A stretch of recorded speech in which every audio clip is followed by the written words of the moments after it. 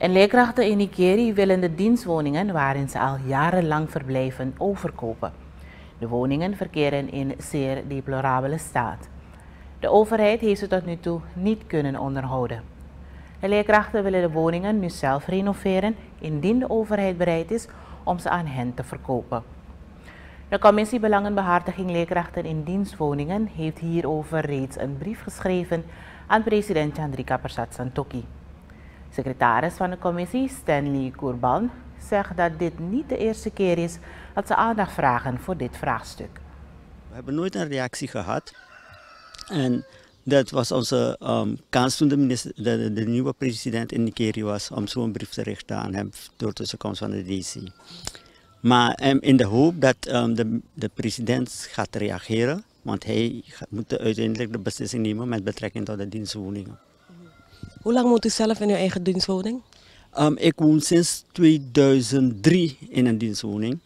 Um, toen ik dat huis kreeg, um, moest ik echt renoveren. Het zeg maar bewoonbaar maken. Het heeft heel veel gekost.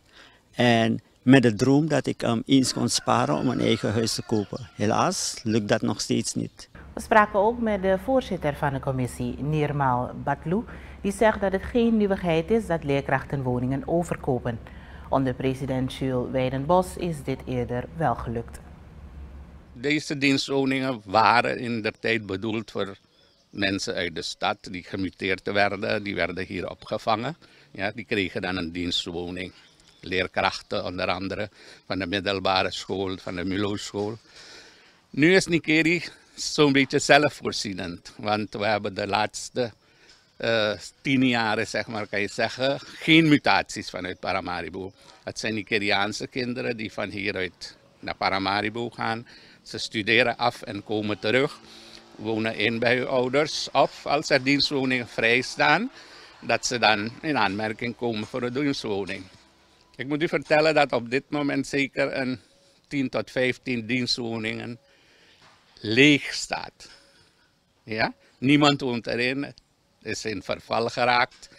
Uh, er zijn ook uh, ja, andere dienstwoningen die gebruikt worden als leslokaal. Ja, als u naar de middelbare school gaat, dan gaat u zien dat van de zes dienstwoningen, nee, acht dienstwoningen, drie bewoond worden en drie andere worden gebruikt als leslokaal. Dus die behoefte om mensen vanuit Paramaribo te muteren en hier op te vangen is er niet meer. Voorzitter van de commissie Belangenbehartiging Leerkrachten in Dienstwoningen, Nirmaal Badlu, tegenover onze nieuwsdienst. De leerkrachten van Ikeri hebben een brief geschreven naar president Chandrika Persat Santokhi, waarin ze vragen om de dienstwoningen waarin ze wonen te kopen.